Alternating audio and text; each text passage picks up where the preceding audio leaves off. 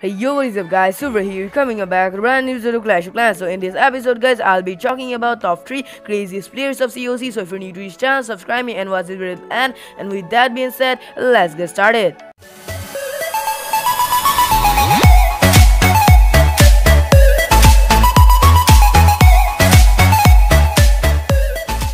So number one will be this player right now. I can pronounce his name and also his tag will be in the description below and also in the screen I will just show the tags on the screen and also he looks like a Town Hall 11 with a, engineer or you can say a rush base. So the biggest thing for him right now, he has the dark elixir troops right but he has no elixir troops. So that is the biggest thing. How can he even do that? Because at first you have to get the elixir troops and then you have to like farm elixir, uh, farm elixir farming or whatever you want to do. You just have to uh, do them with your elixir troops at first and also after in Town Hall 7 you have to buy the dark elixir troops. So that's how you have to do that. But this guy he just skipped the elixir troops then went to the dark elixir troops. So the simple explanation for that how he did it he actually first went uh, he actually first had the elixir troops and also what after that he actually farmed for the farm for the for certain uh, certain amount the amount that you need to buy the dark barracks. And also after that what he did he actually sold his barracks. So that he sold his elixir barracks. Then after that he actually bought the dark barracks. So that's how you can do that. And if you didn't know in back in the day you can actually sell buildings in COC. That's how he actually did it. And also he just sold his barracks. Then he had just bought the dark barracks. So that's how you have like uh, dark troops. So you can't do it right now. But back in the day you were uh, you were able to do that. So it is a pretty awesome thing because he has to do every attack with his dark troops. And also it is pretty hard to three star every uh, three star every attack. Uh, sorry every base because you in every attack you actually have like a single or uh, some of the elixir troops. So that's why it is pretty hard. And I know that you can three star bases with the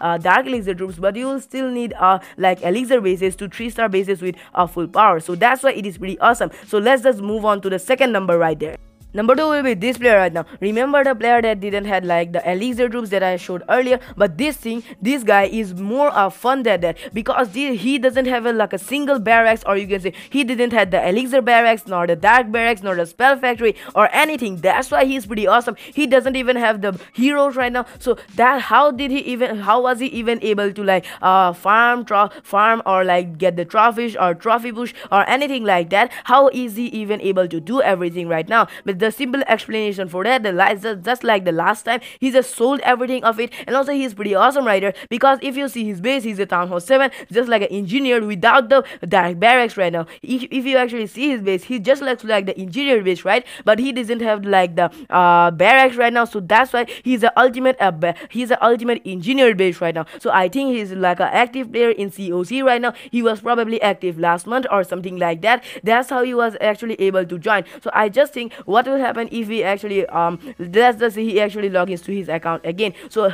if it if he is actually not able to like attack or something like that doesn't supercell like force him to like buy the barracks or something like that? I wonder what will happen if he does that. So i think he, they do uh, they actually don't like um give him like an order to just buy everything. So that's how i think he will be able to join everything. So let's just move on to level 3 Number 3 will be this player right now. So you might just be thinking why am I showing a normal Town Hall? 2 account while I have already shown so many creepy things like no barracks at all. And also because this base is more creepier than those bases because it is one of the most creepiest bases I have ever seen in COC. This has not only one but so many uh, glitches in this base. So that's why I'm showing you this base. So at first if you look at this base it is a normal Town Hall 2 account. But the thing is he has a clan castle. Because if you don't know in Town Hall 2 you can't actually have a clan castle. So that's why I'm showing you this base so if, if, if you actually look at his clan right now you can see he's the leader. But eh, but if you want to be the leader of a clan you will actually have to create a clan yourself. And after that what you will have to do is just like uh just like be in that clan. So you will be the leader of that clan right? So if you want to create a clan then you will need 40k gold. But in town hall 2 you can't actually have 40k gold. So uh, i will explain uh, so many things right now in this base but there are some uh, some glitches in this base that are not explainable. So i'll just show those glitches on the uh, later part of the video so first is he actually got the clan castle from an offer. So if you don't know if you're a town hall 2 you can actually get the clan castle from an offer. So it will be an in-game purchase just like supercell will just show you some of some of the gold. The supercell will actually give you some of the gold and also they will also give you a clan castle. So that's why i'm uh, saying you that he got the clan castle from a uh, offer sorry. He got the clan castle from an offer. So that is what i'm talking about right here. And also the clan thing he actually become the leader right? How he got that? He actually just joined a clan level 1 clan and after what happened uh, sorry after what happened actually every player of that clan actually just left that clan. And also after that because he was the last player he got the promotion of the leader. So that's how he became the leader right there. And also the other thing right there if you actually look at his camps right there he has five wizards. So if you don't know uh, you, you can't actually have five wizards in coc because you can unlock the wizard uh,